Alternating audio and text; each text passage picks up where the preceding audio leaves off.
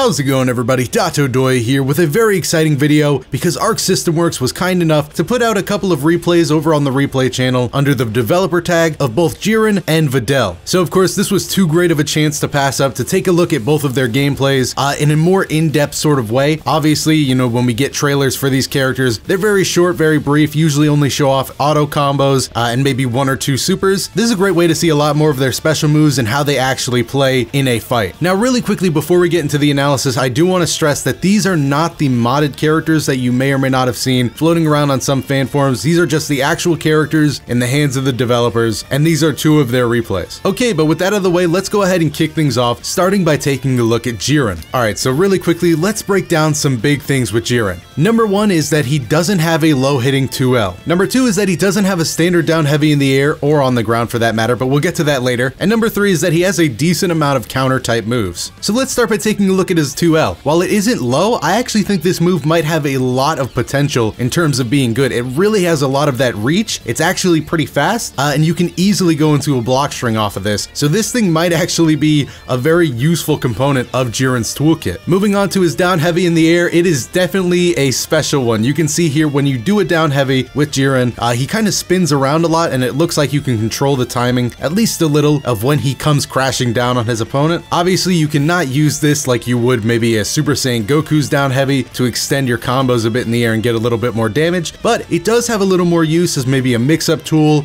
a way to stall out overheads, and can still be used to end combos for some okay oki as long as you set the combo up in a certain way. Now you may have heard me also mention that he doesn't have a normal grounded 2H either, and that's because when you catch a super dash with Jiren's down heavy, instead of just knocking up into the air, Jiren decides to get really athletic with it and flips them over his head, switching up the side he's on. Most of the time, I think this is going to be a fantastic thing for him to have uh, because usually when you catch a super dash, uh, you're not too far away from the corner to your back, uh, so boom, Jiren's already right there. Whereas with other characters, you would have to switch the side. It looks like with Jiren, it's just all natural. You just get the side switch right away. And moving on to Jiren's counters, you can see here at the very beginning, we have one for a normal ki blast, though I cannot really see any way which this follow-up is guaranteed. You can see Goku just stand there for a couple of seconds, uh, maybe trying to make the move look good, uh, but some of his more interesting counters include a normal counter, which you can do, uh, which Jiren holds up his hands mid uh, and flips the opponent. He can get some good extensions off of this, but I also noticed he has a low counter where he goes a bit lower to the ground and pretty much strikes the same pose. And obviously that move is for countering lows. Along with those moves, Jiren also does have a command grab, fitting him in nicely with some other big body characters. Unfortunately, it is just as slow as, let's say, Broly's. Uh, that's a bit of a disappointment, but still good. It's always nice having a command grab in your toolkit. As far as other moves in his toolkit goes, Jiren does have this interesting dash attack almost that appears to be invincible to projectiles. Uh, it looks a little whack though, I'm not going to lie. This might not be something you throw out too often, simply because you can see in this video he tries it multiple, multiple times and it just gets stuffed by Frieza's normals. Regardless though, having an option to be invincible to beam attacks is never a bad thing to have. It just doesn't look like this one in particular is going to be too, too useful. What is useful for Jiren though is his Ki Blast game, as it appears to play a big part in his combo game. You can see here, when Jiren gets somebody into the corner, a lot of his damage comes from being able to extend off of these Ki Blasts and eventually go into a down heavy. These combos in and of themselves don't really look too complex, but he's also not using any other assist and still getting very decent damage off of it, so I'm very much looking forward to what people can come up with with this character. And of course, Jiren's level 1 and level 3 super are both pretty basic,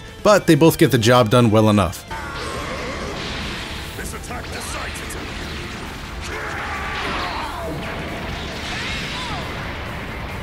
Okay, and now we can go ahead and move on to Videl. And just like Jiren, let's go ahead and break down some major things that people are going to have questions about. Yes, she does have a low hitting 2L. Uh, she also has a DP. She also has a command grab. She also has a reversal OTG super. She also has an almost spot dodge mechanic. She also, yeah, you get the point. She's looking like a very, very good character. But I also do want to stress that just because she has these great tools doesn't mean they're going to be amazing in practice. Uh, they sure do look that way though, but it's going to take some actual player versus player uh, at the top level to determine whether or not she can make a good use of these tools. In regards to the replay though, there are so many things I want to talk about with Videl. For starters, it looks like she has a way to get sliding knockdown out of most situations due to a way that she can kick her opponent uh, and then very quickly go into a knockdown sort of move. Her block strings in particular also look very interesting, though with the new guard cancel changes, uh, this is this is one area that's going to require some actual playtesting the most. And of course, we also got to see a lot of what Great Saiyaman can do. Videl can summon Gohan to either throw a very slow ki blast to charge the opponent, or if she's in the air, she can call him for a dive kick like move. Now, obviously, as you know, this isn't a mechanic totally new to fighters. We have characters like 18 or Ginyu, uh, so you probably already know that these are stuff that can be very exploited in combos and in neutral, but it's really going to come down to uh, what players can find here uh, and what the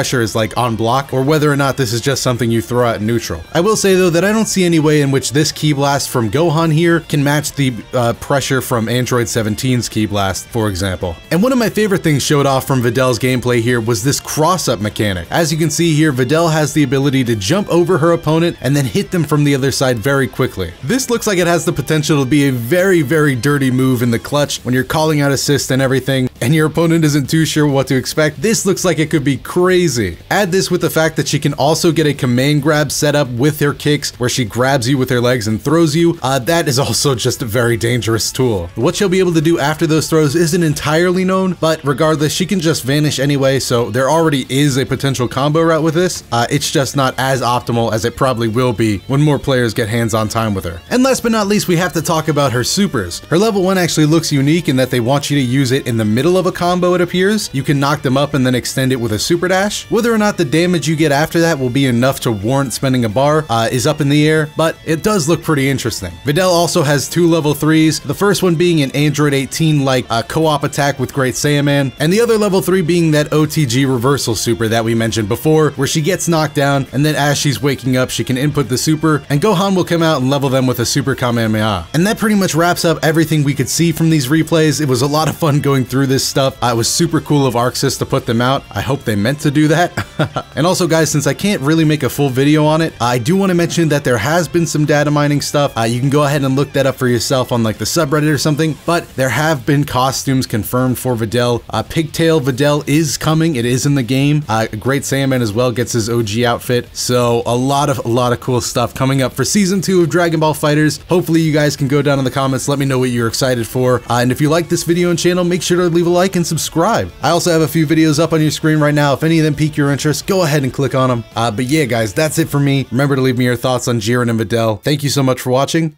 I'm DotoDoya. I'll see you in the next one.